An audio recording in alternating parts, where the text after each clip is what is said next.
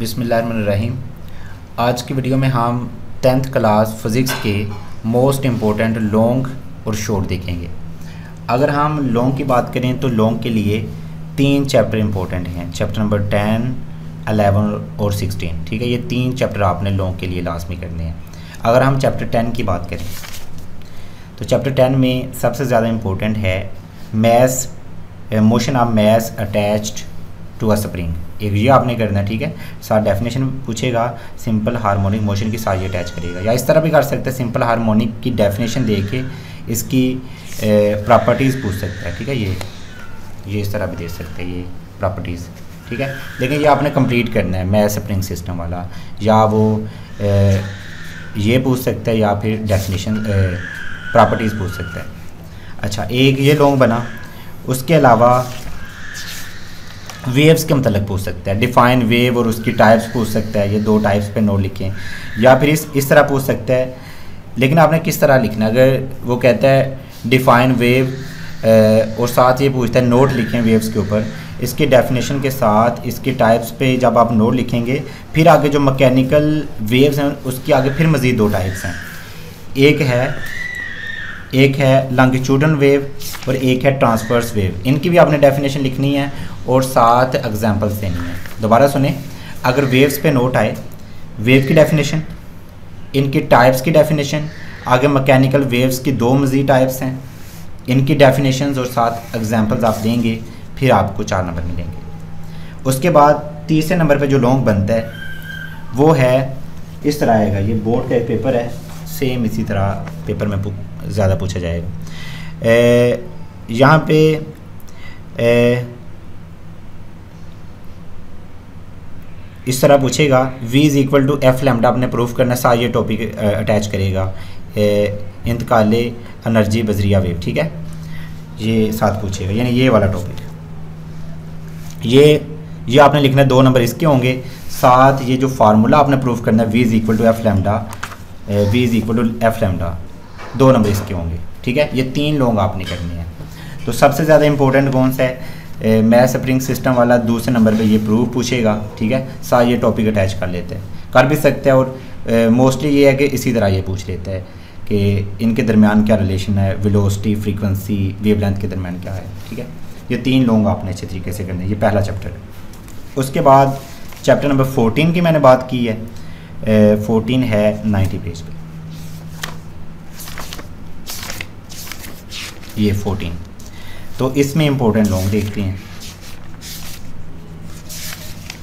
इसमें सबसे ज़्यादा इंपॉर्टेंट लॉन्ग है ओहम ला, ठीक है? ओहम ला सबसे ज़्यादा इंपॉर्टेंट है। उसके बाद यहाँ से ये पूछेगा combinations of resistors combinations of resistors पूछेगा। अब वो सीरीज़ तरीके से भी पूछ सकते हैं। या फिर पैरेलल भी पूछ सकते हैं, ठीक है? पैरेलल कम्बिनेशन या फिर सीरीज़ तरीके से, यानी ये आपने लाजमी करना कम्बिनेशन ऑफ़ रजिस्टर्स इसके आगे दो पार्ट हैं। सीरीज़ कम्बिनेशन है, एक पैरेलल कम्बिनेशन है। पेपर में सीरीज़ भी पूछ सकता है और पैरेलल इन दोनों में से एक पूछेगा।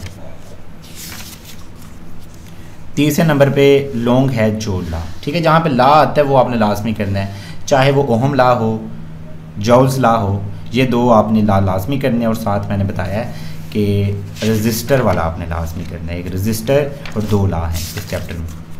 ये तीन लोग यहाँ से आपने करने हैं, ठीक है? उसके बाद है चैप्टर नंबर सिक्सटीन सिक्सटीन का पेज नंबर है one thirty nine one thirty nine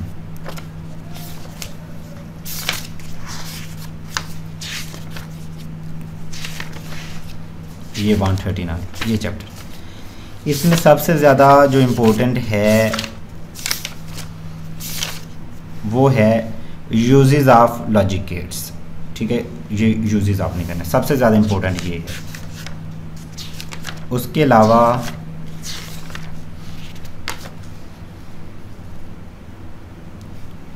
यहाँ से ये भी पूछ सकता है deflecting of electrons by electric field deflecting of electrons by magnetic field electric field में क्या है और मैग्नेटिक में क्या है? एक ये भी लॉन्ग बनता है। चेक कर लें ये क्या आपके स्मार्ट सिलेबस में है।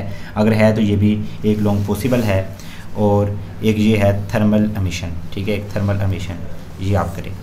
तो ये थे आपके इम्पोर्टेंट लॉन्ग ठीक है? अब हम बात करते हैं शॉर्ट की तैयारी हम कैसे करें? शॉर्ट की तैयारी का क्या तरीकाकार है? सबसे पहले आपने एक्सरसाइज के शॉर्ट करने हैं। सबसे ज़्यादा इंपॉर्टेंट जो होते हैं वो एक्सरसाइज के होते हैं। जैसे मैं एक्सरसाइज में आया हूँ यहाँ पे इम्पोर्टेंट जो आपके स्मार्ट सिलेबस में है वो पहला है दूसरा है तीसरा चौथा पाँचवा छठा और सातवां। पहले सात आपके स्मार्ट सिलेबस में है ठीक है? ये आपने करने हैं। इसके बाद आपने क्या करना है? इसके बाद दो तरीके हैं। आप समरी में चले जाएँ जो आपको डेफिनेशन मिलती है वो आपने करनी है। जो डेफिनेशन आपको मिले। जैसे इस चैप्टर में आया हूँ यहाँ पे मुझे डेफिनेशन मिली है ए, कोई लगा लें ये टाइम पीरियड की ये डेफिनेशन आपने करनी है। उसके बाद मैकेनिकल वेव्स की डेफिनेशन ठीक है? यानी समरी में चले जाएँ, जो डेफिनेशन मिलती है, वो आपने कर देनी है। या फिर, इस तरह नहीं आप कर सकते तो रिव एक्सरसाइज में जो शॉर्ट हैं आपके स्मार्ट सिलेबस में, वो करें। और आपकी बुक में जो जिसको कलर किया गया, ये आपकी डेफिनेशन हैं। और यहाँ से डेफिनेशन कर लें। ये जिसको कलर किया गया, ठीक है? रंगीन जिसे किया गया, ये डेफिनेशन आप करें। एक ये तरीका कार है। अगर इस तरह आप तैयारी करते हैं तो सबसे पहले रिव्यू एक्सरसाइज के शॉर्ट करते हैं, फिर जो रंगीन डेफिनेशन की गई हैं, वो आप करते हैं, आपके शॉर्ट कंप्लीट हो जाएँगे। कोई भी चैप्टर ओपन कर लें। जैसे मैं कहता हूँ, ये चैप्टर मैंने ओपन किया है। तो इसकी एक्सरसाइज में आए। कौन सा चैप्टर है? Chapter number twelve chapter number twelve में मैं आया हूँ। इसकी रिव्यू एक्सरसाइज ओपन की है। क्वेश्चन नंबर फोर है सिक्स है, बल्कि मैं सारी लगा देता हूँ, शाम। पहले चैप्टर का मैंने बताया कि आपने क्या करना है? रिव्यू एक्सरसाइज के पहले सात और सात जो, जहाँ भी आपको डेफिनेशन मिले, जो जिसको कलर किया गया, ये आपने कर लेंगे ठीक है? अगर किसी का साथ फार्मूला हो, वो आपने लिखना है, अगर यूनिट हो, वो आपने लिखना है। अच्छा उसके बाद है यूनिट नंबर अलेवन सीधा आपने रिव्यू एक्सरसाइज में जाना है, ठीक है? रिव एक्सरसाइज में जाएँ तो पहले, पहला शॉट दूसरा, चौथा, पाँचवा, सातवां, आठवां, नौवां, दसवां, ग्यारहवां, ये आपके स्मार्ट सिलेबस में ठीक है? और उसके बाद डेफिनेशंस का मैंने बता दिया है, जिसको कलर किया गया, ये आपने डेफिनेशन करनी है अच्छा अगर चैप्टर टू से लॉन्ग आया तो कौन सा आ सकता है? ठीक है, अगर वन से ना आया तो टू से आएगा। तो टू से आपने लॉन्ग करना है। यहाँ से ज़्यादा इम्पोर्टेंट है। यहाँ से characteristics of sound characteristics of sound आपने कर देने ठीक है? यहाँ से ये आपने यहाँ से दो दो तरह से लॉन्ग बन सकते हैं।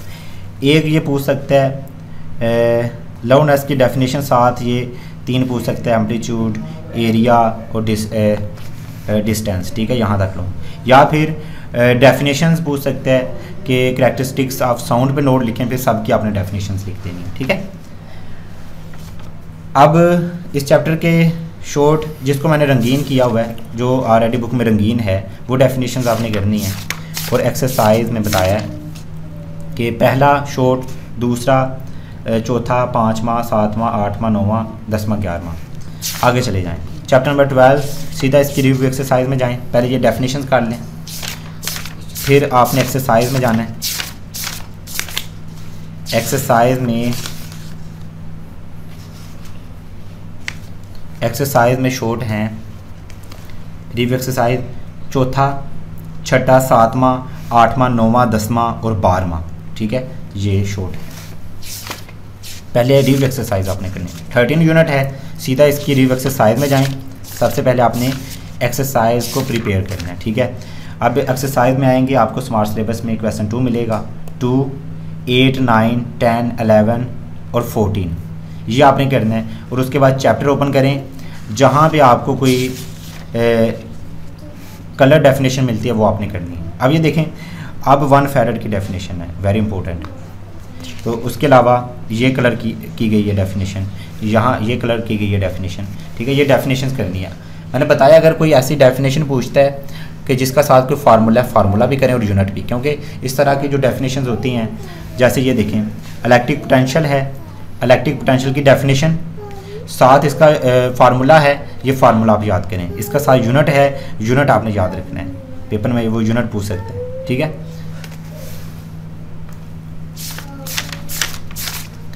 उसके बाद यूनिट नंबर थर्टीन ये बता दिया। यूनिट नंबर फोर्टीन की एक्सरसाइज में जाएँ।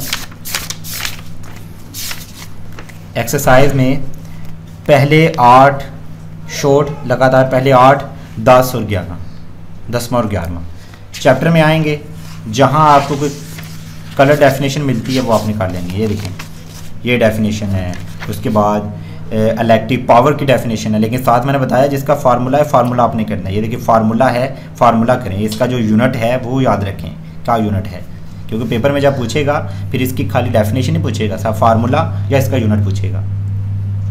ये देखें किलो वाट आर की डेफिनेशन इस तरह जो भी रंगीन डेफिनेशन मिले, वो आपने करनी उसके बाद यूनिट नंबर फिफ्टी फिफ्टीन की एक्सरसाइज में चले जाएँ। यूनिट नंबर फिफ्टीन एक्सरसाइज में आएँगे तो आपके सिलेबस में है fifteen point three seven nine eleven और ट्वेल्व ये शॉर्ट करने हैं, बाकी डेफिनेशन का मैंने बता दिया वो यूनिट नंबर सिक्सटीन है, सीधा इसकी एक्सरसाइज में जाएँ।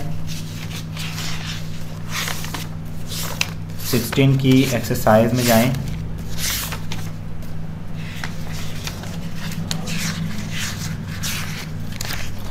सिक्सटीन की एक्सरसाइज में जाएँगे तो एक्सरसाइज में स्मार्ट सिलेबस में है क्वेश्चन नंबर सेवन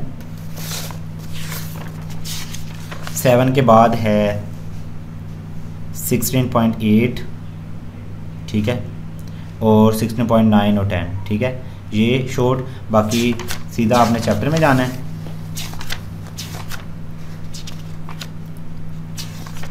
यहाँ पे देखें, यहाँ पे डेफिनेशंस कलर नहीं की गई जहाँ पे कोई डेफिनेशंस आपको ना मिलें चैप्टर में, आपने उसकी समरी में चले जाना समरी में सारी डेफिनेशंस होती हैं। जब आपने समरी को ओपन करना है, यहाँ पे आपको सारी डेफिनेशन मिलेंगी। देखें, यहाँ पे डेफिनेशन है थर्मानी कमीशन की है।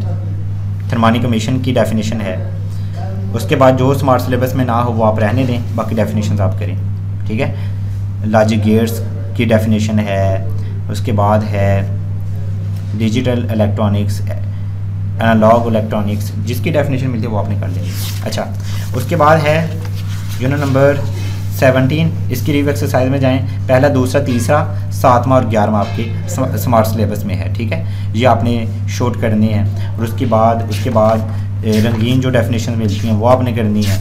अगर रंगीन डेफिनेशन ना मिलें समरी में जाके आप खुद डेफिनेशन देख लें कि जो स्मार्ट सिलेबस में डेफिनेशन हैं, वो आपने कर लेनी है। इसके अलावा आखिरी यूनिट है आखिरी जो यूनिट है, इसके ये पहले तेरह आपने शूट करने हैं। ये लाजमी पहले तेरह शूट करें और इसकी सारी डेफिनेशन यहाँ से आती हैं, जो रंगीन की गई हैं इस चैप्टर से, सारी डेफिनेशन वही आती हैं। ये देखें। करंट वाले जितने भी चैप्टर हैं, उसमें सारी रंगीन डेफिनेशन करें, वहाँ से मैक्सिमम डेफिनेशन आएँगे, उसके बाद ये यूनिट है, जो रंगीन की गई डेफिनेशन है, ये लाजमी पेपर में पूछी जाएँगी। तो ये मैंने आपको इम्पोर्टेंट शॉर्ट और लॉन्ग बता दिए हैं। तो ये आपने अच्छे तरीके से तैयार कर लेनी है। तो उम्मीद करता हूँ आज की वीडियो आपको अच्छी लगी होगी। अगली वीडियो तक के लिए अल्लाह हाफिज़। Thanks for watching